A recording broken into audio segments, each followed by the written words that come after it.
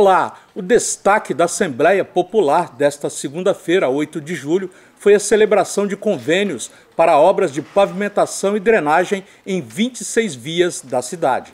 Hoje, o, o prefeito Max Filho, ao passar o cargo para o nosso é, vice-prefeito Jorge Carreta, prefeito em exercício, a partir de hoje, ele assinou é, 11 convênios, totalizando 26, 26 é, vias a serem pavimentadas, principalmente na região 5. No total de 11 convênios, eles foram firmados originalmente em dezembro do ano passado, né, pelo governo anterior, do governo do Estado, e com a entrada do governo Casagrande, é, o, o, o, governo solicitou que houvesse uma reprogramação dessas obras. Essas obras foram, portanto, re, reprogramadas, é? e agora, é, no dia de hoje, nós finalmente formalizamos e eu acho que praticamente todos os projetos executivos, enquanto isso, nós, nós é, através da Secretaria de Obras, aceleramos o processo de elaboração dos projetos executivos.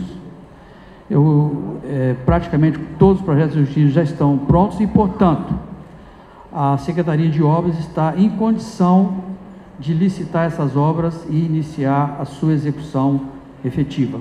O prefeito em exercício, Jorge Carreta, apresentou um vídeo sobre investimentos em obras na educação. Vila Velha não para de crescer e recebe famílias vindas de outros lugares que escolheram nossa cidade para viver.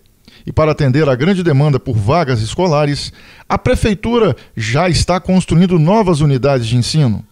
Até 2020, devem ser abertas quase 5 mil vagas em escolas da educação infantil e do ensino fundamental mais de 200 já foram abertas com a inauguração da primeira etapa da nova escola do IBES. 376 vagas serão da nova escola de Barra Mares, que já está quase pronta e será inaugurada no início do segundo semestre. A obra vai durar apenas quatro meses, porque aqui a Prefeitura de Vila Velha está empregando uma tecnologia inovadora, chamada concreto PVC. E tem mais, não é mesmo, Priscila? Érico, aqui em Alvorada, a nova escola também já está com a obra acelerada. O prédio já está no segundo andar e, quando estiver pronto em 2020, vai receber 480 crianças dessa região. E como estão as obras aí no bairro Alecrim, Vandique? Priscila, Alecrim também está de parabéns, porque toda a parte estrutural da obra da nova escola já está toda concluída. Quando ela abrir as portas, serão ofertadas vagas para 400 crianças da região, o dobro da capacidade atual. E como estão as obras na creche de Praia das Gaivotas, Rovena? Vandique, quem mora aqui na região de Praia das Gaivotas também pode ver sendo construída a nova creche que a Prefeitura de Vila Velha vai entregar no primeiro semestre do próximo ano. A nova unidade de educação infantil receberá 376 crianças em dois turnos. E tem mais obras de educação em São Torquato, não é isso, Paulo? Pois é, Rovena. Aqui em São Torquato, essa nova escola vai contribuir para zerar a falta de vagas para crianças pequenas. Aqui neste terreno já está sendo feita a fundação para a construção de uma nova creche, que as crianças da região começarão passarão a utilizar em 2020. Serão 376 vagas e tem mais. O plano de obras da educação ainda prevê mais oito outras escolas que já estão em fase de licitação ou de elaboração de estudos. Os projetos executivos contemplam Jabaeté, São Conrado, Ulisses Guimarães, Centro, Divino Espírito Santo, Jaburuna, Vale Encantado e Santa Paula. Prefeitura de Vila Velha. Eu não quero saber o que, os outros fizeram. Eu sei o que, que nós estamos fazendo e vamos realizar. Não é verdade? Não só na área de educação, mas na área de saúde, né?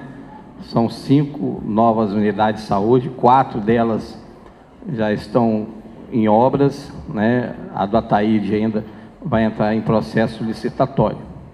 Lideranças e moradores ocuparam a tribuna para manifestar opiniões e reivindicações sobre diversos temas. Saber o que, que nós podemos fazer para poder arborizar as ruas de Vila Velha?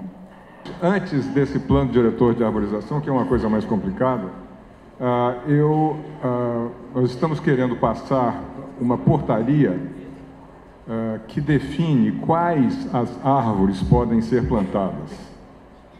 Quais as árvores que têm condição de, de ser plantadas nas ruas para não uh, criarem problemas, seja com, uh, com as raízes profundas demais ou, ou com uma arborização ex excessiva. E só há um problema, um pequeno problema que nós ainda precisamos resolver, é que existe um decreto, um decreto municipal que estipula certas vantagens para quem planta árvores diante de sua casa, na sua calçada. E esse decreto nunca ficou muito claro, sempre causa problemas para nós da, da Secretaria de Meio Ambiente, que temos que explicar a cada vez como é que se faz isso, como é que, qual é o procedimento. Nós queremos incluir essa, essas explicações, enfim, já no texto de, dessa portaria, e isso ficará pronto muito rapidamente. O assunto está a, a cargo da Procuradoria, que vai dar uma opinião definitiva sobre isso. Porque eu preciso de uma vaga na creche para minha criança, porque eu preciso trabalhar. No sistema de ensino, nós temos um módulo, um sistema que se chama Sistema de Gestão Escolar. E é através desse sistema, né, que a gente faz a abreviação de SGE, que você pode fazer as matrículas das crianças do município. Ou seja, no caso da educação infantil, você pode se dirigir a qualquer unidade e na secretaria fazer a sua inscrição, dar o nome da criança, idade, né? Então a pessoa faz essa inscrição, escolhe três unidades mais próximas da residência para conseguir a vaga, tanto na educação infantil quanto no ensino fundamental. O procedimento é o mesmo. Agora, fato é que, devido à ausência de construção de unidades de ensino ao longo dos anos, o que, que aconteceu? Né, você tem uma lei federal que obrigou-nos atender crianças de 4 e 5 anos, reduziu-se vagas né, de 0 a 3 anos, como o, o prefeito exercício acabou de comentar, para atender a legislação federal. Na sua região, nós temos a Almeida Ulisses Guimarães e a de Jabaeté 5, né? é uma nova, porque hoje já existem na sua região a Hélida Figueiredo, que deve ser mais próximo da sua residência, é, e a Ana Maria Fontes Lira, que são as duas UMEIs que atenderiam a sua idade.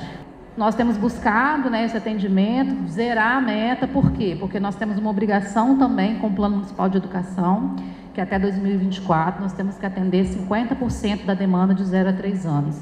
Então, essa gestão tem se empenhado para atingir essa meta.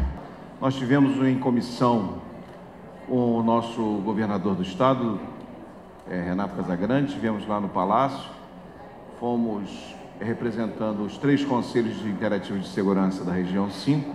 Levamos alguns assuntos, como segurança, saúde, educação e infraestrutura. De que é a questão da falta de médico na unidade de saúde da família de Ponta da Fruta. É, nós tivemos hoje mais um pedido de exoneração lá em, lá em Ponta da Fruta. Então, os profissionais, quando pedem de repente uma, uma saída, a gente tem que convocar profissionais que estão no processo seletivo para se apresentar. E aí demora, às vezes, tem um período de apresentação e demora um pouquinho. Isso acontece em função deles terem conseguido um local com um salário maior. Então, isso de vez em quando acontece. Agora, a Ponta da Fruta já é o segundo em pouco tempo. Há pouco tempo a médica do balneário também aconteceu isso e agora aconteceu na unidade de saúde.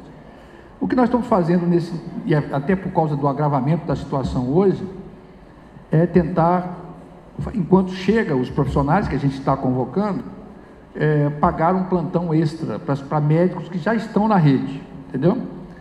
É, amanhã eu acho que a gente já conseguiu. Vamos colocar um médico lá com plantão extra vai ser esse enfrentamento aí, porque o médico também nem sempre aceita o plantão, nem pode, nem sempre pode dar esse plantão extra para nós. A mais que está brincando é o doutor Luiz, que vai estar lá amanhã. Então nós vamos tentar superar até a chegada do médico efetivo, que ele tem um prazo para se apresentar. Ao final, todos foram convidados a participarem das próximas assembleias regionais do orçamento participativo.